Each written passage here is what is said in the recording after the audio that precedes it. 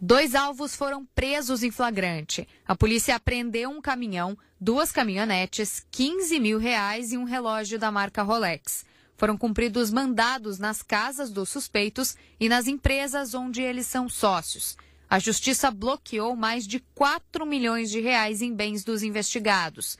Esse dinheiro tem origem no esquema de desvio de sacos de arroz. Com as cifras né, que a gente já está, já, já gira em torno de 4, aproximadamente 4 milhões e meio de reais se nós considerarmos só o ano de 2022 e 2023, os anos de 2022 e 2023.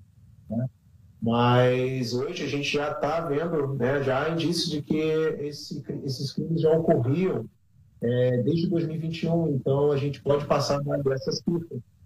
E, então não há, no registro, não há nos registros, né, pelo menos, é, eu posso estar errado, mas não há nos registros da história das investigações policiais aqui no Rio Grande do Sul, é, cifras tão altas quanto essas que a gente que a gente está enxergando agora, de 4 milhões e meio de reais já, mais ou menos. Pelo menos aqui na fronteira oeste é o que é o crime de maior expressão. O crime não violento de maior expressão é, monetária foi esse que a gente está apurando agora.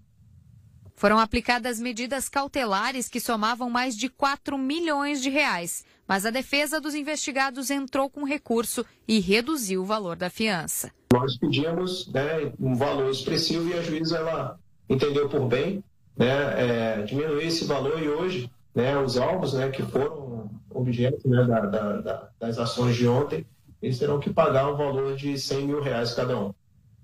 Mas ainda tem também a, a, a questão né, da, da, dele não poderem né, se, se, se ausentarem do domicílio da comarca por mais de cinco dias.